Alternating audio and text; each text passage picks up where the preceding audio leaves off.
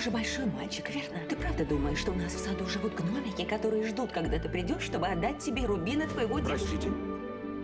Для всех, кто верит в сказки. Добро пожаловать в страну мини-путов! Это не смешно. Ты меня здорово напугал.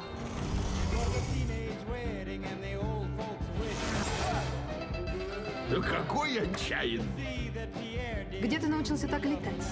Э, машину водил с бабушкой.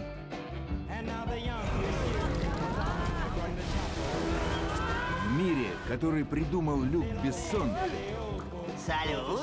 скучно не будет никому. Я женат пять минут, а уже чувствую себя вдовцом и уголовником. Фредди Хэммер, Миа Ферроу и мимимишные мини-путы. Крутой чувак. Артур и мини-путы. Начало истории.